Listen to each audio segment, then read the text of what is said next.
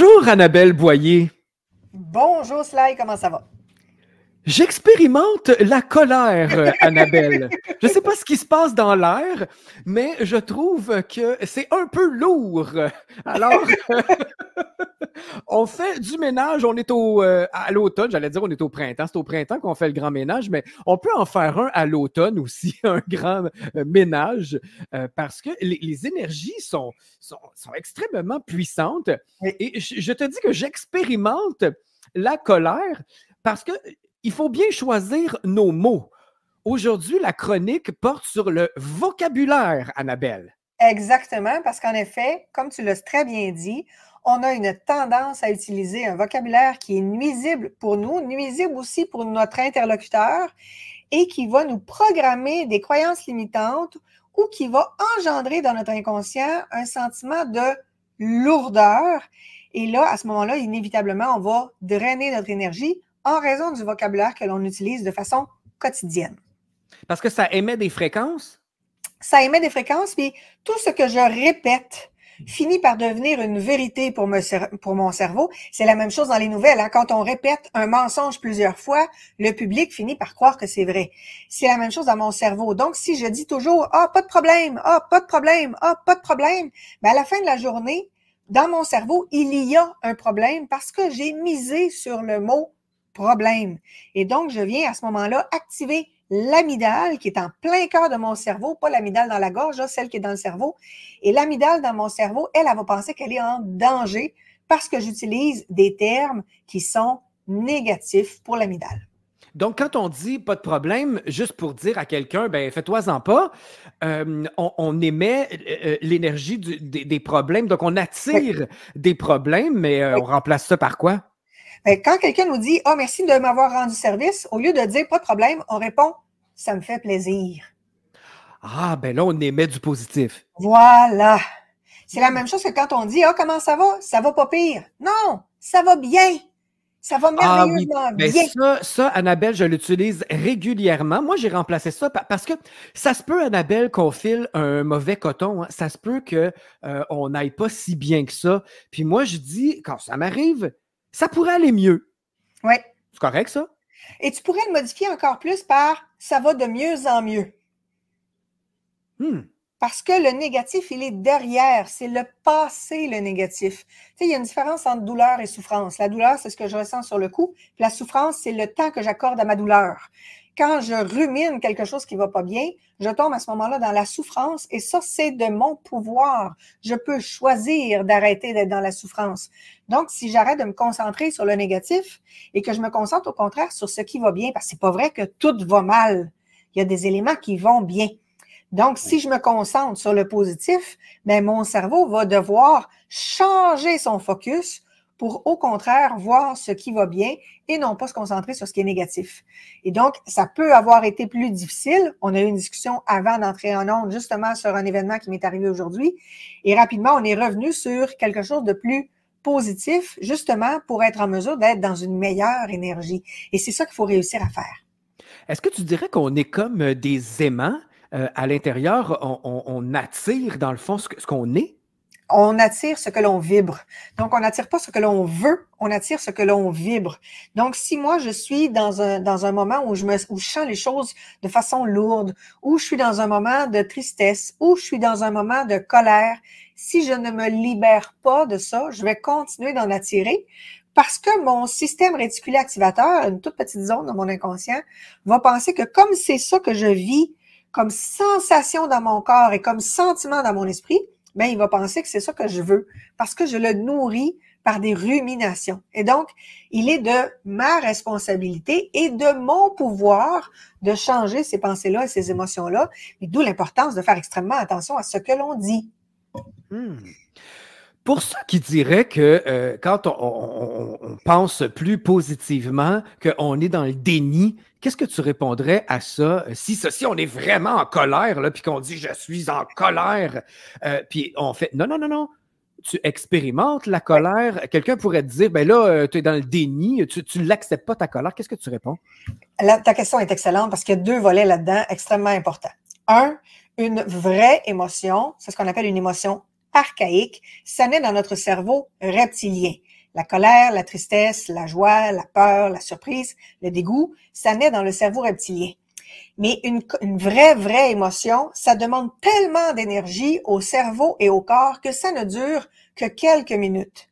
La colère vraie ne peut pas durer plus que 10 minutes. Ce serait une menace pour le corps et le cerveau après parce que ça demande trop d'énergie. Après ça, notre cerveau va transférer l'information dans le cerveau limbique. Et là, ça se transforme en sentiment. Un sentiment, c'est un ressenti du mental. En d'autres mots, c'est une construction de notre cerveau. Ma colère se transforme en un sentiment en fonction de quoi? De mes blessures, de mes blocages, de mes croyances limitantes, de mes identités saboteuses et de mon niveau de fatigue. Donc, ça se transforme en autre chose. Une autre personne vivrait exactement la même situation et son sentiment pourrait être totalement différent. Donc, le hmm. sentiment, il est une construction du mental. L'autre chose, tout ce que je dis après je suis, je l'imprime dans mon cerveau. Donc, si je dis toujours, oh, je suis fatigué, je suis fatigué, je suis fatigué, ben, je lance le, le signal à mon cerveau d'être fatigué et donc de produire des hormones et des neurotransmetteurs de fatigue, de drainer mon énergie. Alors que si je dis j'expérimente la fatigue, je viens de créer ce qu'on appelle une dissociation. C'est le corps qui expérimente quelque chose d'extérieur qui est une fatigue et donc le cerveau comprend qu'il a un pouvoir là-dessus. Il peut modifier cet état-là en choisissant d'expérimenter autre chose. Donc, au lieu de dire je suis en colère, je suis triste, je suis, je suis, je suis, je suis, j'expérimente. Je suis le corps qui. Alors, à ce moment-là, ça permet de créer une dissociation. Et le fait de nommer son émotion, nommer son émotion, ça ne devrait prendre qu'un très court moment. Quand je pars sur une grande tirade pour raconter tout ce qui m'arrive, je ne suis plus dans une émotion. Je suis à ce moment-là dans une identité saboteuse qui est en train de, de, manifester et qui est en train de nourrir les ruminations dans son cerveau. Et, à ce moment-là, je les, exactement, je les crée et je les imprime encore plus puissamment. Rappelons-nous les, les travaux de Joe Dispenza sur le fait que quand on répète continuellement des choses négatives, quand on raconte continuellement des expériences négatives à nos amis, à nos thérapeutes, aux membres de notre famille, à nos collègues, on les imprime encore plus profondément dans le cerveau. Le mm. sillon qui se crée dans le cerveau, le chemin neuronal, il est consolidé. Donc, j'ai la possibilité de changer ça en modifiant mon vocabulaire. Et dans les autres éléments très importants du vocabulaire, il y a le fait de dire, oh là, il faut que je fasse telle tâche. Oh là, j'ai pas le choix, je suis obligé de faire ça. Les, verbes d'obligation sont extrêmement négatifs pour le cerveau. Personne n'a envie de se sentir obligé de. Je me souviens à un moment donné d'une conférence de Marcia Pilote qui disait, au lieu de dire il faut, je dois, tu devrais, elle, disait je m'aime, donc je prends le temps de faire ma brassée de lavage pour avoir du linge propre. Je m'aime, donc je fais de l'activité physique parce que c'est bon pour mon corps. Je m'aime, donc je fais ceci. Et on peut, on peut changer ça par je choisis de faire cela. Je décide de faire cela. Je m'engage à faire cela. Parce qu'à ce moment-là, ça devient un verbe beaucoup plus inspirant, beaucoup plus porteur de ce que j'ai envie de devenir au lieu de dire je dois, faudrait, je suis obligé. Et ça, quand on fait ça, ce n'est pas du déni. Non. Ce, n'est pas. Parce que ça se peut hein, qu'on ait plus ou moins envie de faire euh, euh, telle chose euh, pour toutes sortes de raisons. Là, parce qu'on est plus fatigué, on est. parce que même moi, des fois, ça ne me tente pas vraiment de venir faire de la radio le matin parce que toutes sortes de, de raisons. Là, et euh, je trouve une petite euh, motivation euh, pour venir parler à mes auditeurs parce qu'ils me donnent de, l'énergie, me nourrissent, mais ce n'est pas du déni que de faire ça. C'est vraiment un petit coup de, pouce qu'on se donne à, nous-mêmes, de juste de mieux choisir notre langage, ça fait toute la différence. Oui, puis, tu sais, quand il y a des matins où tu peux être, par exemple, un peu plus fatigué ou un peu plus découragé, mmh. tu n'es pas que la fatigue et tu n'es pas que le découragement tu expérimentes la fatigue et le découragement, mais tu es tellement plus que ça. Et c'est hmm. pour ça qu'il faut donc modifier le vocabulaire. Autre chose, Rappelons-nous de Viktor Frankl, qui est un psychiatre qui a fait énormément de, recherches, entre autres sur la résilience, parce que lui, il a été prisonnier dans les camps euh, Auschwitz dans le, dans le temps de la Deuxième Guerre mondiale. Et une des choses qu'il a travaillé beaucoup, c'est justement quel est le sens que je donne à ma souffrance? Quel est le sens que je donne à l'épreuve que je suis en train de traverser? Donc, quand j'ai quelque chose à accomplir qui ne me tente pas du tout, quel est le sens que je peux donner à cette tâche-là qui va être plus grand que les cœurs en titre, qui va être plus grand que le découragement, qui va être plus grand que la fatigue? Quel sens je donne à ça? Par exemple, quand je vais m'entraîner, il y a des fois où j'ai eu une grosse journée, ça ne me tente pas du tout d'aller m'entraîner. Mais dans ma tête, à moi, je suis le garde du corps de la maison. Donc, il est important que je me garde en forme. Il est important que je perfectionne mes techniques parce que je suis le garde du corps de la maison. Et à partir du moment où je me dis ça, je prends mon équipement, je prends mes clés, puis je m'en vais m'entraîner. Ça te donne une petite motivation. Exactement.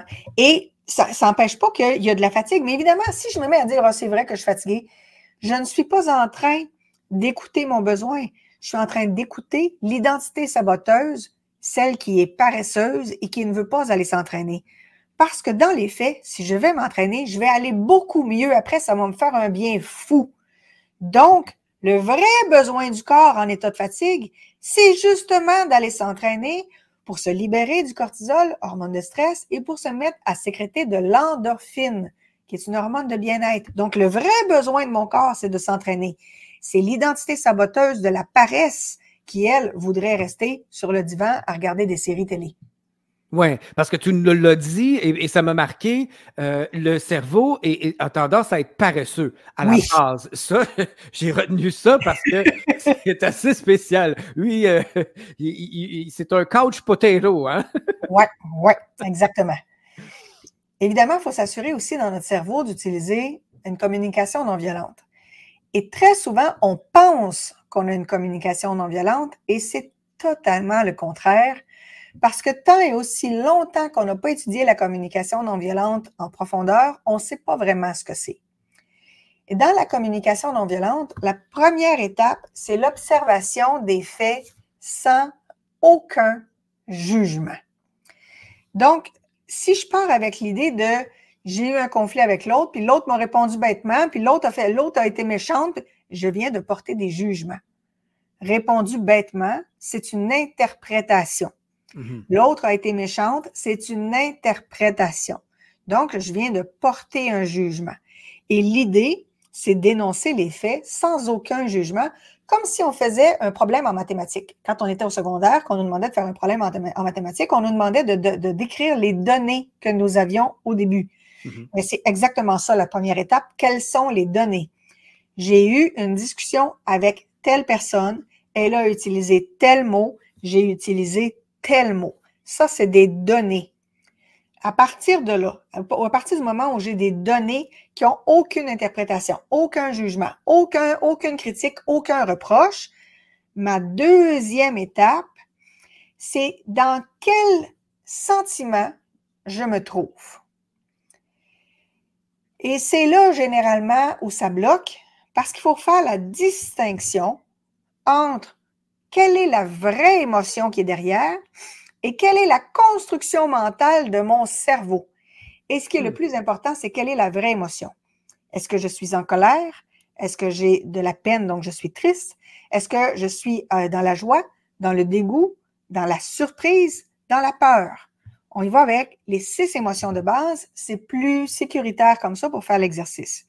OK. Et donc, je nomme quelle est l'émotion. Donc, quand on dit les quatre étapes de la communication non violente, c'est l'OSBD, le deuxième, le S pour les sentiments, on devrait remplacer ça par émotion. Parce que si je pars avec je me sens trahi, je me sens rejeté, je me sens abandonné, je me sens incompris, tout ça, ce sont des attaques. Parce que quand je dis je me sens rejeté, je suis en train de dire à l'autre tu me rejettes.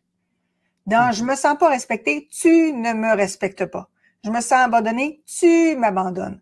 Or, mon émotion, elle m'appartient. C'est moi qui a la télécommande de mes émotions. C'est pas l'autre personne. C'est moi, c'est mon cerveau et mon corps qui déterminent quelles hormones et quels neurotransmetteurs se déclenchent. Donc, c'est moi qui ai la télécommande de mes émotions. C'est pas l'autre qui me met en colère. C'est mon cerveau qui choisit de se mettre en colère suite au comportement ou aux paroles de l'autre. Mais c'est ma responsabilité, mon émotion. Donc, l'idée, c'est d'être capable de le nommer au jeu avec la vraie émotion. Donc, colère, tristesse, dégoût, peur, joie. Là, on est dans la vraie, vraie, vraie émotion archaïque qui vient du cerveau reptilien. Dès qu'on dévie de ça, on tombe dans le sentiment, donc un ressenti du mental, une construction mentale qui est liée à nos blessures. C'est ça, dans le passé, ce qu'on ce que, a peur de euh, revoir, de réexpérimenter à nouveau, on traîne ça. Euh. Oui, puis si par exemple, vous avez été, euh, quand vous étiez enfant, vous aviez un des parents qui, par exemple, travaillait beaucoup et quand il arrivait après son 40 ou 50 ou 60 heures de travail, prenait plusieurs bières pour se détendre, était donc pas très disponible pour les enfants. Mm-hmm. Ça va générer chez l'enfant un sentiment d'abandon, d'injustice, de rejet, de trahison. Ça dépend des enfants. La même situation va être vécue différemment selon les, enfants. Et donc, ça génère une blessure. Ce qui fait que plus tard, dans le milieu de travail ou dans la relation de couple ou dans les relations d'amitié, si j'ai l'impression que quelqu'un me donne pas assez de temps, je vais, me, je vais retrouver ce même sentiment-là. Mais c'est un peu comme si j'avais une plaie au creux de la main et que je l'ai jamais soignée parce que je savais même pas qu'il fallait la soigner. Et je rencontre quelqu'un et je lui serre la main et la poignée de main me fait mal. Le problème, c'est pas la poignée de main. Le problème, c'est la plaie qui était au milieu de ma main que j'ai jamais soignée. Mhm. Donc, les blessures d'enfance qui n'ont jamais été soignées, ben, une fois adulte, elles sont de ma responsabilité. C'est à moi d'aller travailler. Mais si je les ai jamais travaillées, si je m'en suis jamais libérée, si j'ai jamais su comment faire, et j'ai pas trouvé quelqu'un pour m'aider à le faire, puis j'ai peut-être pas cherché non plus parce que je pensais que c'était normal d'avoir ça. Mais quand je vais rencontrer quelqu'un, puis que le, comportement de cette personne-là ou les paroles de cette personne-là vont rappeler à mon inconscient quelque chose de déjà vécu, quelque chose qui est dans sa base de données, de mm-hmm. souvenirs, bien, les mêmes sentiments vont revenir, vont remonter, et je vais avoir le sentiment à ce moment-là que l'autre m'a fait du mal. Mais en fait, j'avais déjà une blessure, je ne l'ai pas soignée, et là, je vais utiliser des termes comme je me sens pas respecté, je me sens pas compris, je me sens pas ci, je me sens pas ça, et qui sont en fait des attaques. Et aussi, euh, tu m'as blessé. J'ai entendu ça récemment et j'ai tendance à répondre tout le temps à ça. Je n'ai pas ce pouvoir-là, je suis désolé. Exact. Exactement. Parce que, tu sais, quand quelqu'un, par exemple, nous engueule, ben, si moi, je me laisse atteindre par l'engueulade, c'est à moi à regarder en moi qu'est-ce qui est touché. Est-ce que j'ai euh, moi-même, est-ce que je sais que j'ai pas donné le meilleur de moi dans cette situation-là, puis je m'en veux? Est-ce que ça me rappelle une autre conversation que j'ai avec quelqu'un d'autre qui n'est pas encore résolue? Est-ce que ça vient toucher le fait que j'ai de la difficulté à m'affirmer, puis je ne sais pas quoi faire parce que j'ai jamais travaillé cet élément-là, je l'ai jamais développé? Est-ce que ça, ça, arrive dans une période de vulnérabilité où je n'ai pas pris soin de moi et à ce moment-là, je suis plus vulnérable, plus fatiguée et plus donc facile à être atteinte? Mais ça, ça m'appartient totalement. Et en effet, l'autre n'a pas le pouvoir de me blesser. Il me donne une opportunité de réaction. Et c'est à moi à choisir cette, réaction-là. Et c'est pour ça que dans ma tête, c'est important à ce moment-là de dire, OK, quels sont les faits, sans jugement, sans critique, sans rien, et quelle est ma vraie émotion?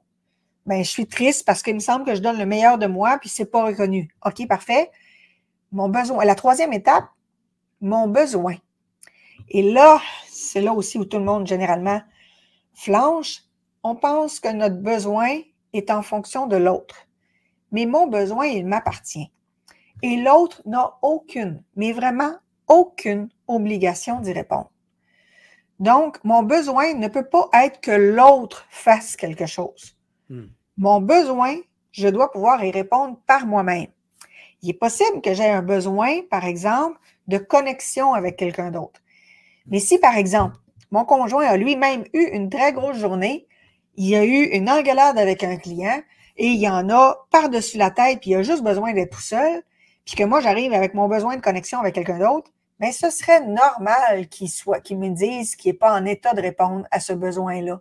Ce serait totalement normal parce que sa job à lui, c'est d'abord de répondre, de répondre à son besoin avant mhm. pour être dans un meilleur état pour m'accompagner plus tard.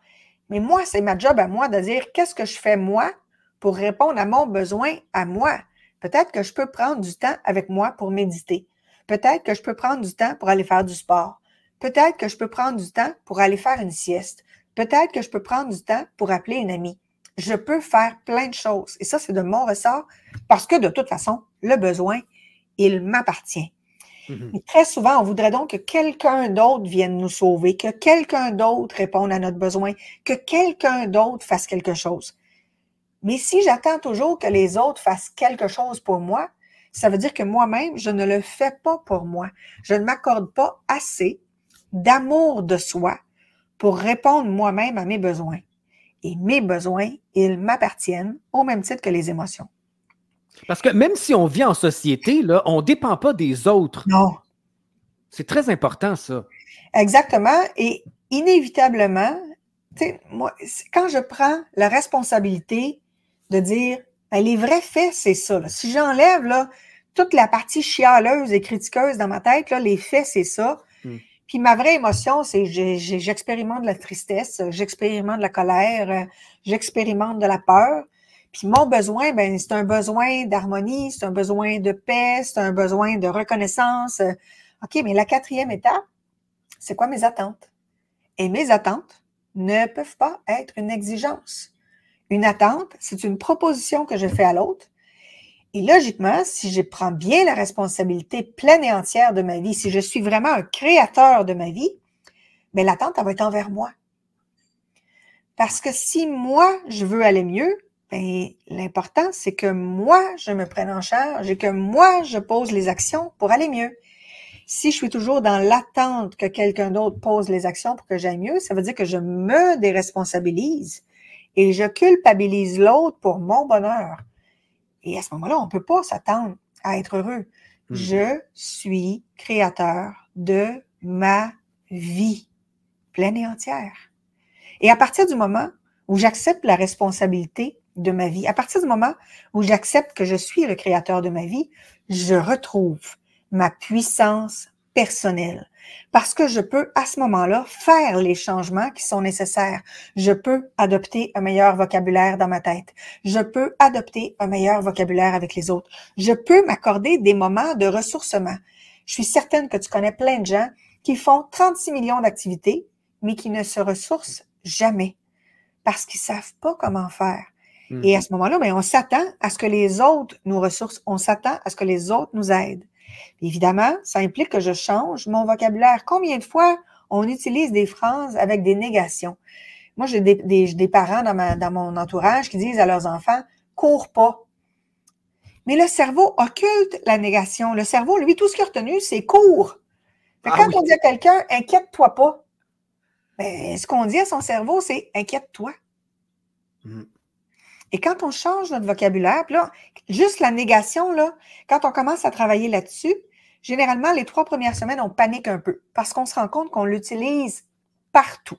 Ben, c'est ça que j'allais dire, Annabelle. Je suis sûr que les auditeurs sont d'accord avec euh, tout ce qu'on vient de dire là, mais c'est complètement une rééducation. Là, on va faire attention à tout ce qu'on dit parce que c'est tellement présent dans notre quotidien. On l'entend à télé, à la radio, de tout le monde. Moi, juste euh, l'expression ça vaut la peine. J'ai banni ça de mon vocabulaire. Je dis que ça vaut la joie parce que ça vaut la peine. Mon Dieu, si ça vaut la peine, fais-le pas parce que tu envoies le mot peine. Mon Dieu, ça a l'air pénible de le faire. Fais-le pas. Donc, ça vaut la joie. Ben, c'est ça que tu vas récolter en faisant ça.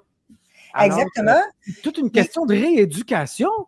C'est une grosse question de rééducation. Puis la plupart du temps, on n'a pas été habitué à ça. Si vous écoutez bien, les, même nos professeurs, nos parents, nos, nos, coachs sportifs, même eux, ils ont une tendance à utiliser des phrases négatives. Tu sais, dans les bas des courriels, n'hésitez pas à me contacter.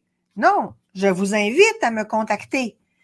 Je suis désolée de vous avoir dérangé. Non, merci de m'avoir attendu. Merci de m'avoir accueilli. On change le désolé ou excusez-moi de, puis quelque chose de négatif pour merci, on récompense le bon comportement. Et c'est sûr que c'est une rééducation. Ça se fait pas en 48 heures en claquant des doigts. Ça demande du temps. Mais l'idée, c'est de commencer quelque part. Si on commence jamais, on change jamais rien. Juste de dire, OK, au lieu de dire, pas de problème. Quand un client appelle ou quand je réponds à quelqu'un, je me mets des post-it sur mon écran puis j'écris, ça fait plaisir, ça fait plaisir, ça fait plaisir, ça fait plaisir, des beaux post-it roses là, pour être sûr que ça me flash d'en face. Là. Mais inévitablement, quand la personne va me dire quelque chose puis que je vais avoir envie de répondre, ah, pas de problème, ben là, je vais me reprendre. Et l'idée, c'est d'impliquer les gens autour de nous. Quand je vais, par exemple, dans un. je suis allée il n'y a pas longtemps au salon de, l'éveil au mois d'août de Catistropiano. Puis ma collègue, à un moment donné, répondait aux gens Ah, il n'y a pas de problème. Puis à un moment donné, j'ai chuchoté à l'oreille Change-moi ça pour ça fait plaisir. Je suis heureuse de vous avoir aidé. Bienvenue dans notre univers. Juste de changer ça, ça change totalement la dynamique. Hmm. Puis inévitablement, de changer la négation pour des phrases positives, affirmatives, constructives. Mais ça, inévitablement, ça va apporter beaucoup plus de joie. Ensuite, on change les je dois, il faut pour je choisis, je décide, je m'engage, je m'aime, donc je suis prêt à. Et là, on peut le modifier pour plein de choses. Et l'idée, c'est qu'on prend un premier élément et on le travaille pendant deux à trois semaines. Et c'est important d'impliquer l'entourage là-dedans parce qu'inévitablement, il y a des fois où on va s'échapper. La fin de semaine dernière, j'en avais parlé, j'étais en formation de maître praticien. Puis à un moment donné, ça portait justement sur le pouvoir des mots. Mm-hmm. Et je suis à un moment donné jumelée avec une, dame qui a un vocabulaire très négatif. Mais là, je vais essayer de, puis je pense pas être capable de, puis à un moment donné, je lui dis, on vient de voir le pouvoir des mots. Alors, je vais t'inviter à reformuler les trois dernières phrases que tu viens de me prononcer pour qu'on puisse lancer un meilleur signal au cerveau. Et, j'ai dû l'aider à reformuler parce qu'elle ne trouvait pas les mots qui étaient plus adaptés. J'ai une cliente que à peu près à toutes les cinq phrases, je, lui dis textuellement, je t'invite à reformuler ta phrase. Je t'invite à reformuler ta phrase. Je t'invite à nouveau à reformuler ta phrase. et à un moment donné, elle a fait, mon Dieu, je réalise que j'ai un vocabulaire très, très négatif. Oui, mais quand le vocabulaire est très, très négatif à longueur de journée, qu'est-ce que tu veux que ça donne de positif? Et imagine quand elle se couche et qu'elle dort pendant le sommeil, qu'est-ce qui se programme dans son cerveau? Ce n'est que du négatif. Mm-hmm. Parce qu'elle vient d'un milieu où le négatif avait priorité. Et dans notre cerveau, on a facilement ce qu'on appelle un biais cognitif, un filtre qui vient fausser notre perception de la réalité. Et un des biais négatifs les plus, un des biais les plus, euh, les plus répandus, c'est justement le biais de négativité, la manie de voir davantage ce qui, ce qui va pas bien dans notre vie que ce qui va bien. Donc, on accorde de l'attention à ce qui est négatif plus qu'à ce qui est positif. Et ça demande de l'entraînement pour pouvoir modifier ça. Mais ça se fait. Et à partir du moment où on le fait, on arrête de nourrir le chemin neuronal de la négativité et on construit de nouveaux chemins neuronaux. Mais c'est comme apprendre une nouvelle langue. Au début, on cherche nos mots, puis on se rend compte finalement qu'on est retombé dans notre français habituel, puis qu'il faut revenir à l'autre langue. Ça demande un entraînement. C'est tout un défi, en tout cas, euh, ça, euh, Annabelle, mais euh, tu as tout à fait raison. La puissance des mots est extrêmement importante. Afin de nous aider un peu, est-ce que tu connais des ouvrages? Est-ce qu'il y a des sites Internet? Est-ce qu'il y a des, des, des, des places pour aller se chercher un nouveau vocabulaire? Parce que tu as parlé des post-it, là, mais qu'est-ce qu'on peut écrire justement sur ces post-it-là? Comment on fait pour s'aider? En fait, il y a un livre de Jacques Martel. Tu sais, Jacques Martel qui a écrit le Dictionnaire des malaises et des maladies. Là. Oui. Lui aussi qui a fait les bonhommes allumettes. Là. Oui. Mais il y a un livre sur le pouvoir des mots, n'est-ce pas merveilleux? Ah. Et il nous propose justement des alternatives. Et moi, là, quand j'ai lu ce livre-là, ça fait déjà plusieurs années, j'ai réalisé que j'avais beaucoup de vocabulaire à modifier. Et là, à un moment donné, j'ai fait, OK, là, je choisis de changer mon vocabulaire. Je choisis d'adopter un vocabulaire qui est plus constructif. Mhm. Et je l'ai travaillé expression par expression. Il y a des expressions que j'utilisais de façon vraiment très, très, très importante, dont le pas de problème. Et ça, je me suis mis à le travailler. Mais le livre de Jacques Martel sur le pouvoir des mots est particulièrement intéressant. Je pense aussi au livre de, Jacques Hébert, De quoi je me jase, qui est très, très, très intéressant. Euh, il y a un autre livre aussi qui s'intitule N'arrosez pas les fleurs. N'arrosez pas les fleurs. N'arrosez pas les mauvaises herbes, arrosez les fleurs. Qui, qui, porte là-dessus. Il y en a un autre qui s'intitule aussi Le pouvoir des mots. un de Alain Sanson, Soit positif ou Bedon reste chez vous. Donc, il y en existe beaucoup, beaucoup, beaucoup. Bon, alors on s'aide et on change notre vocabulaire pour attirer encore plus de positifs. Annabelle Boyer, ça a été euh, vraiment euh, instructif, euh, cette chronique-là. On peut te consulter si jamais on veut régler une problématique. J'invite les gens à aller sur ton site internet annabelle-boyer.com et on continue d'évoluer en conscience à chaque semaine, puisque les secrets du cerveau humain nous sont dévoilés dans cette euh, merveilleuse euh, chronique. On se donne rendez-vous la semaine prochaine pour euh, une autre chronique très riche en, en informations. Je te souhaite une belle semaine, Annabelle. Merci beaucoup à toi aussi. À la prochaine.